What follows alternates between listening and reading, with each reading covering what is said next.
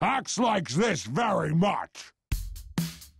Welcome to Coffee with, with, with Hoppies. Hoppies. Hoppies. Hoppies. Hoppies.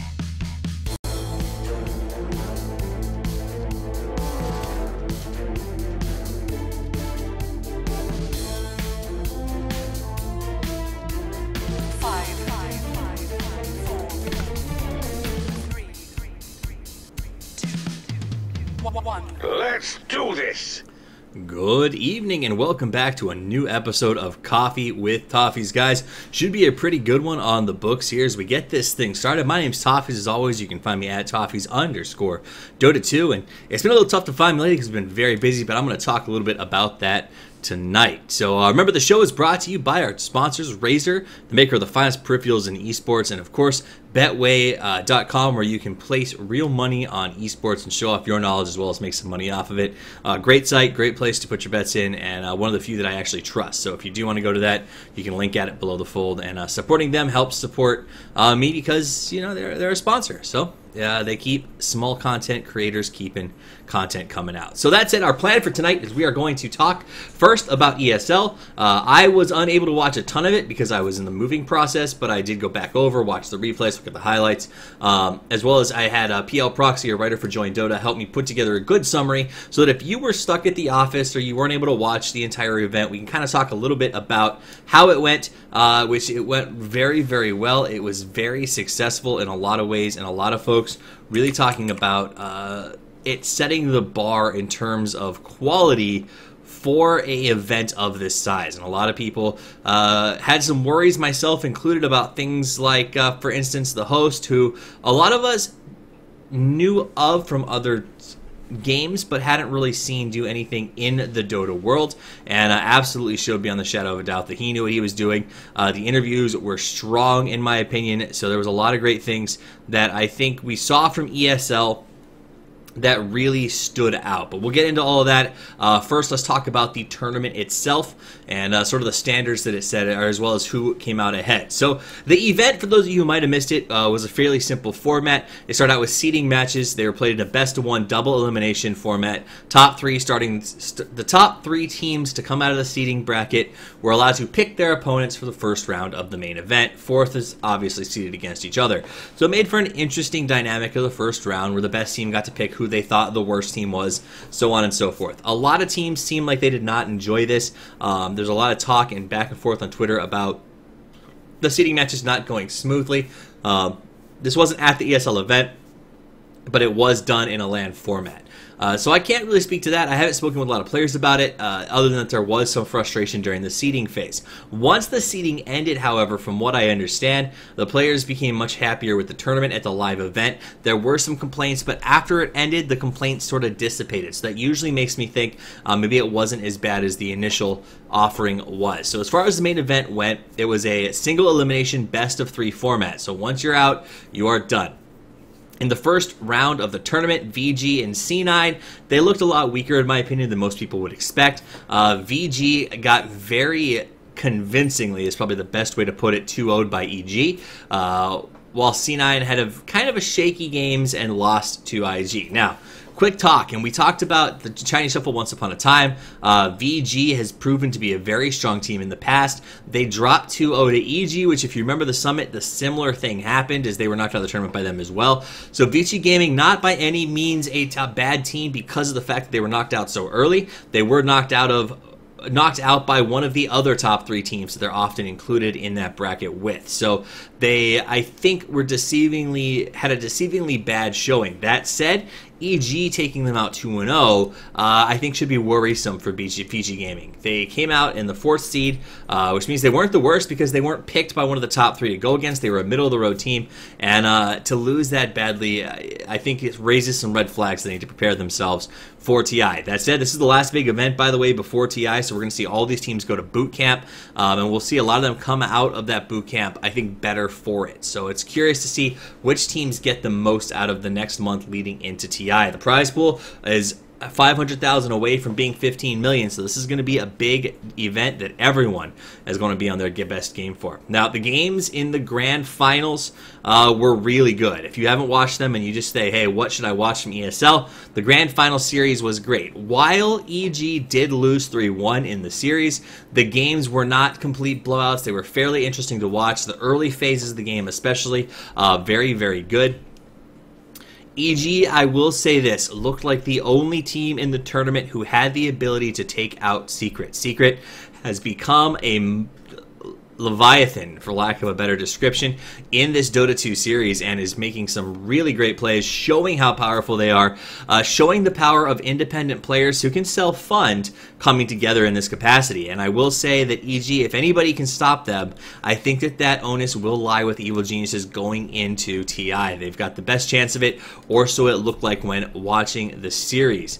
Uh, Secret will remain the favorite for TI, I'm pretty sure. Uh, like we said, they do show a lot of potential, and if any team can work hard enough, and I don't say this just because I'm a fan of uh, some of the players on EG, but if any team has the work ethic to close that gap, it is going to be Evil Geniuses. If you've seen their camp, I've been to their camp before, uh, they sit down and they work very hard when they have a goal, and I expect them to do the same thing. So what I did do though is I put together a. Uh, I want to show a quick finale. So if you are watching uh, live, you'll see a re-video of the final, uh, one of the fights that really determined uh, the end of the series. And if you are on the podcast, you will be able to hear it firsthand, uh, though you probably will not be able to see it. If you want to see the clip, it is from Noob from UA. You can over to the YouTube channel and check it out. So we'll flip over to that.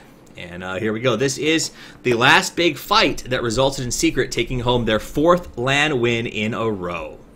Worth of experience deficit, and now it's Arteezy. He's the one protected by the Lotus Orb. They bring down the tier 3 tower, and they found Fiona! He's in trouble! PPD with a stone, he's getting him out, Universe is close! And as you push him up, they lock him out! Universe is in, popping high up in the air, and Kuro stops the fun, holds the fun, uh, with the Song of the Siren. They're waiting to come back in, they're up in the high ground with Fear Lightning Ray, and they got him! He's down! 106 seconds, Universe in trouble! This could be it! Side being stunned up. They need more control. They need more damage. EG's backing up. They need more people. They've only got two players alive. And it is going to be one hell of an effort if EG can do it. There's your Thunder God's Wrath. Refresh orbs available. Go for number two. And that's Bloodseeker down. S4 not in a healthy position either. BKB is protecting him, but they have to retreat out. The buyback comes in from Arteezy. They're going for round two with PPD up in the air. He gets the Echo Slam on Arteezy, but it will not save his life. No buyback. DJ! Will take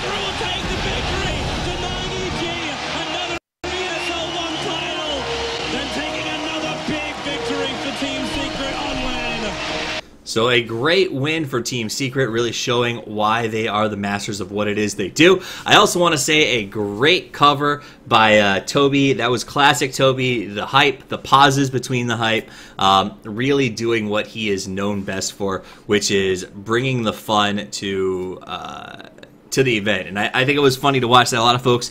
Uh, actually, there was a post on Reddit about why isn't Synderen or Merlini on the co-cast? They're more experienced as an analyst.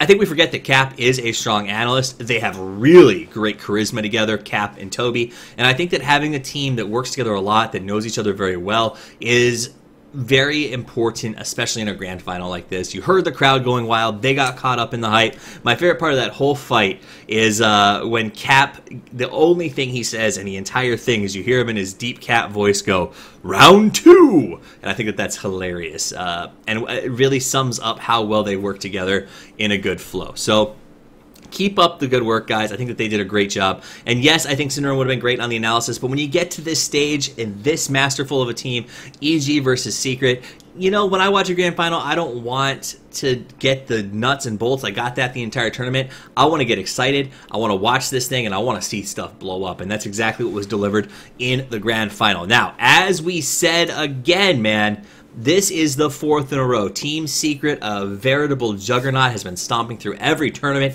that they have come in contact with. They take home 120,000 uh, dollars off of this win. Evil Geniuses get 60,000. Virtus Pro and Invictus each get 30, and then everybody else splits up a 15 or gets a $15,000 paycheck for being there in the first place. But Team Secret seems unstoppable. Now, let's talk about behind the scenes. Up to the end of the tournament, there were some complaints coming out of players about seating matches, organization, uh, uh, travel, accommodations. There was a comment that the practice rooms were not good enough; they weren't ready when everybody arrived. Um, however, once ESL really got up and running after day two or so, I started to see those tweets taper off, and it seems like after the fact, most players are saying that they had a positive experience. I don't know if that's 100% the way it went. That's just the feeling that I get. Um, if you are a player, if you do want to confirm that and say, yes, ESL was a great event, please feel free to tweet at me um, and we'll talk about it on the next show. But it does seem like it was very, very smooth. Interesting stuff that came out of it. If you guys uh, want to, you can head over uh, to Join Dota. There's a couple articles on there. One of them is uh, by Proxy PL, and he talks, it's an interview that Malastrix did with KuroKy, and uh, he mentions in it that he is writing a book about uh, esports, his parents, uh, and the interactions he had with both growing up. It should be pretty interesting. Apparently, it's a side project that he's working on, and a pretty good interview. So head over there and check that out. We're not going to run it right now because we don't have time, but it is a good interview uh, by Malastrix, article by Proxy PL. So make sure you check that out. Now, the other thing I want to mention, and this is a tough one for me to a certain extent, and I'll show you why, is uh, and I'll tell you why, is I want to talk about the host. Now, a lot of folks were skeptical when they heard that the host uh, was going to be, like I said, someone who didn't traditionally know Dota. His name is William Chobra Cho. Chobra Cho. I uh, again, I didn't get to watch the thing live. I had to go back and watch the replays because I was house shopping during this time period. Uh, we saw 16 houses in a day. I'll tell you all about that at the end of the show. It was crazy. Um, but I went back and I watched eh, specifically because I host and I interview it. So this is something that's important to me. Redeye is a is a really great example of a good host, and I think that losing him, a lot of us were worried what will happen with the quality. Um, and I'm gonna say this. I'm gonna say as a fan and a Dota lover, I was really impressed with Chobra. He clearly did his research. He understood the game of Dota enough to transition uh, discussions. He masterfully resummed a lot of things that were said. So an analyst would come up with a really great idea uh, or say something that maybe was a little bit highbrow. Nahaz is a great example of this. Uh, would come out with some really great stuff, maybe a little bit long or perhaps a little bit intense. And Chobra would do a really good job of not only keeping the conversation flowing, but restating what the analyst said in a very simple way and then posing that restatement as a question to another analyst. And what this did is created a really smooth panel and a comfortable vibe. He also could run the camera when nobody when there was nothing to talk about. I really really respected what he did. And now I'm going to say that this is a huge compliment for me because I wanted him to do terrible. Not on a personal basis. I think Chobra's a really great guy, but as somebody who dreams of being a host and possibly getting a spot on that ESL bench one day, I was like, man, I hope that this proves that you have to get a Dota Dota loyal uh, to host these sorts of events. And Chobra proved me wrong. He proved that the Redeye seat has been filled and was doing a wonderful job with it. So kudos to you, Chobra, as someone who loved watching Dota 2 uh, and thinks that we need to work hard to take it to the next level you 100% carried the torch from Redeye, and uh, I was incredibly happy. As much as it made me professionally go, ah, what am I going to do now? Uh, I was really happy to see how well you did. So kudos to that. All right, so uh, now that I have given the props to Chobra, I will say that the interviews on the event were pretty good. Um, I think that there is still a little bit of work that could be done there, but I liked how they did some good fan interaction, uh, put the interviewers in the stands, tried to engage the people who were there. ESL had all kinds of fun events going on at the same time. From uh, cosplay to bull riding to a balloon guy who apparently became the star of the show. It sounds like ESL has really started to put their heads around the idea. They've adopted that X Games model, the, the, the not X Games Dota, but X Games uh, Extreme Sports. The idea that when you're selling a sport that isn't that popular, by making it a festival and an experience, it contributes to the growth of the event and draws a lot of people in. And I think that they did that well, and I look forward to seeing what ESL has for us in the future. ESL New York is going to be a good one. So uh, that's that's my wrap up on ESL One Frankfurt. If you're thinking, what should I go watch? Should I check it out? Absolutely, go watch the grand finals. And you know what? Don't just watch the games. Go to the Twitch channel, watch the previous broadcast, and check out the awesome amount of production value that ESL brought to the game. It felt like I was watching a big event. It felt like I was watching a sports coverage, and I and I really feel like I got um, what we deserve to get. So kudos to you, ESL. You did a great job. Now. Next topic at hand. This one does need to be talked about because it's kind of all over the tabloids and the papers and everything else right now, and that is what's going on with with the North American Rejects player Korok. a lot of us knew that there was some personal issues and some things that came up prior to the NA qualifiers.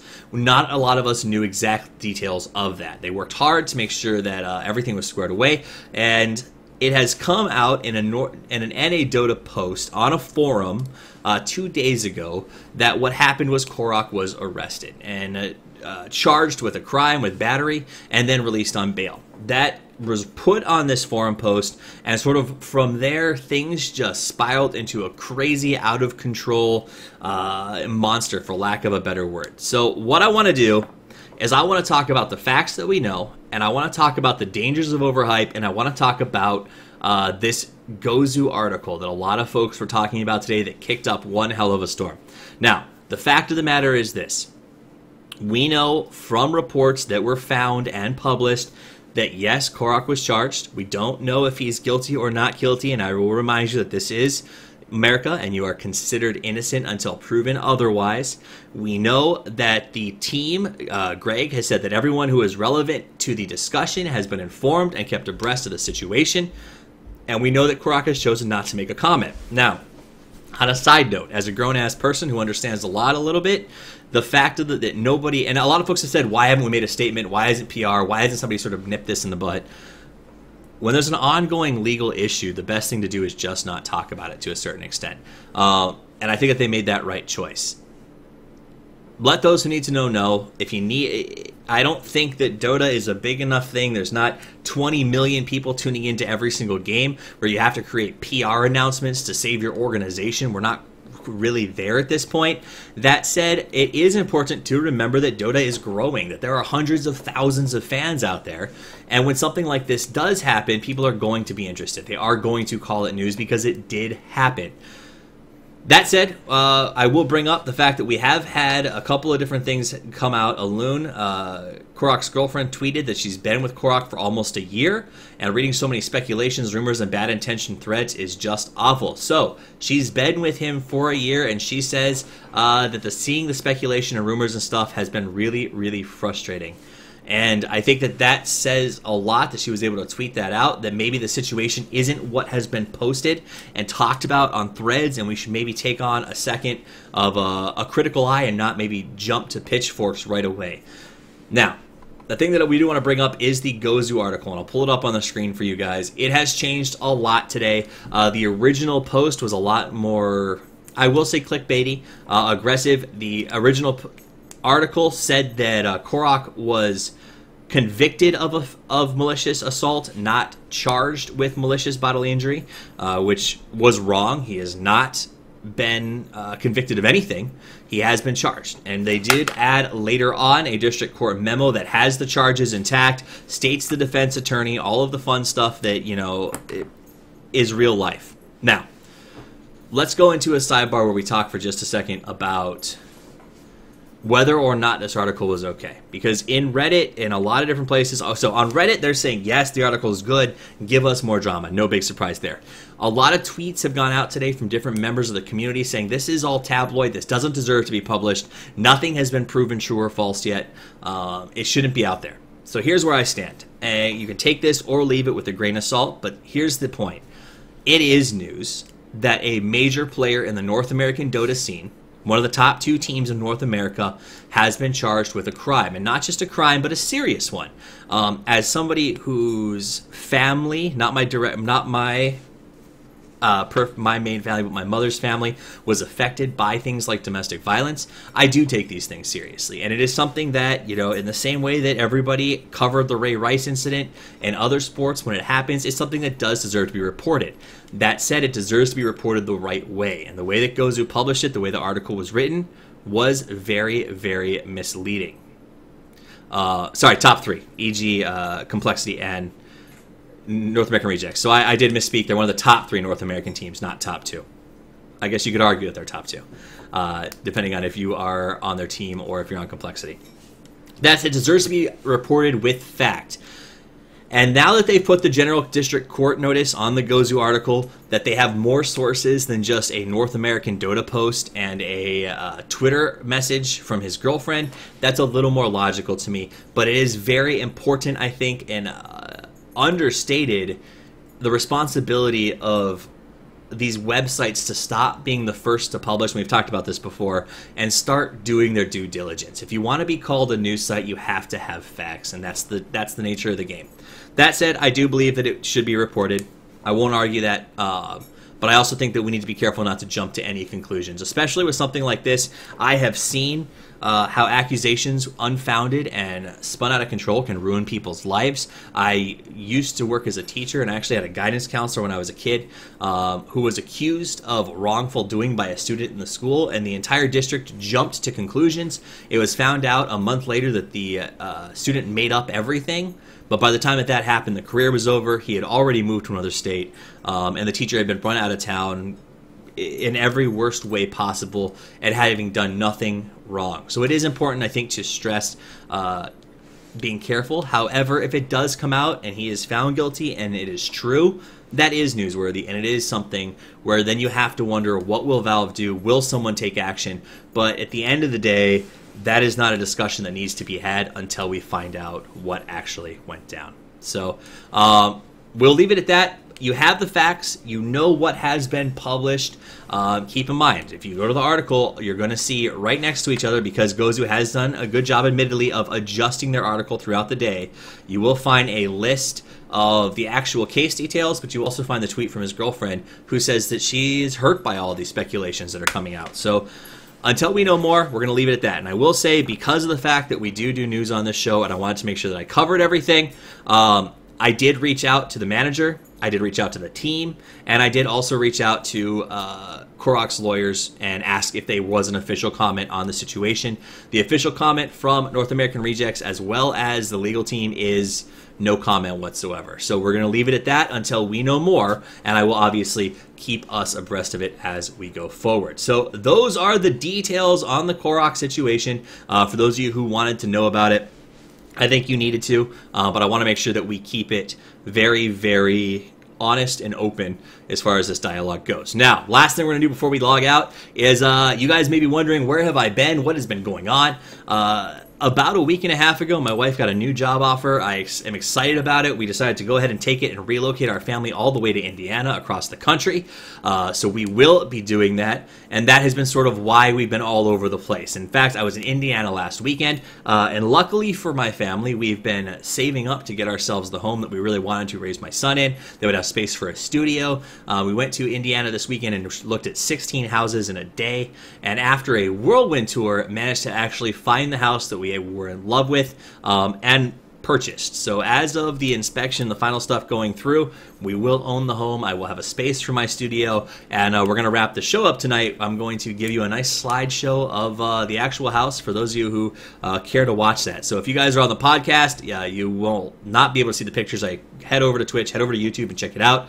If you are uh, a fan of the show for the news, but not all that interested in uh, Toffee's story, you're more than welcome to head out now. But I am really excited about this house and what we can do with it. So I'm going to show you the slideshow of the new place uh, and let you see just how cool it is. Also, by the way, the slideshow was made by my father. It's a video, um, and it's kind of hilarious because he added this like weird music to it. So we're gonna we're gonna have that up in just a second.